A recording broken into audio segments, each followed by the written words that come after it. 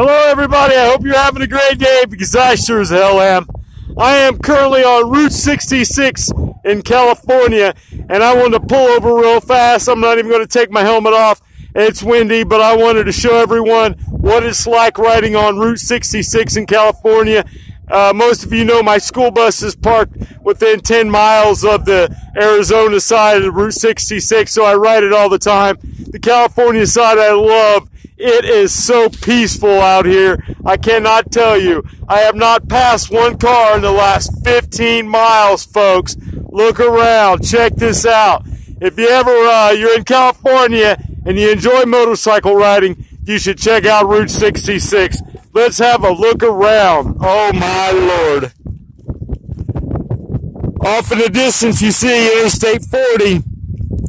Screw that, man.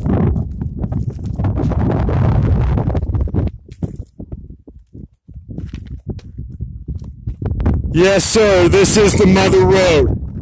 It is built for motorcyclists. If you haven't rode this road, you need to check it out. And while you're at it, check me out on the interweb, vagabondbiker.org. Troy Bensinger on Facebook, Instagram, and Twitter. Troy Bensinger at YouTube. Have a good day. Love somebody.